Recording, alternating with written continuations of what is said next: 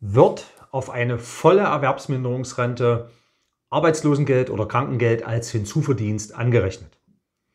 Mein Name ist Peter Knöppel, ich bin Rechtsanwalt und Rentenberater von Rentenbescheid24.de. Grundsätzlich wird auf eine Erwerbsminderungsrente Hinzuverdienst angerechnet, de facto so ähnlich wie bei einer Altersrente. Unter Hinzuverdienst verstehen wir Arbeitsentgelt, Arbeitseinkommen und vergleichbare Einkommen.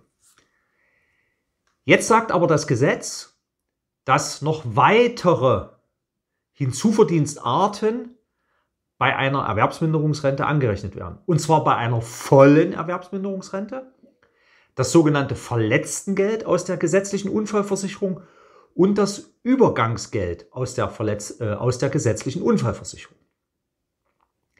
Damit ist klar, dass Arbeitslosengeld 1 und Krankengeld, wenn ich eine volle Erwerbsminderungsrente beziehe und wenn man die mir rückwirkend bewilligt hat, nicht als Einkommen auf die Erwerbsminderungsrente angerechnet werden können.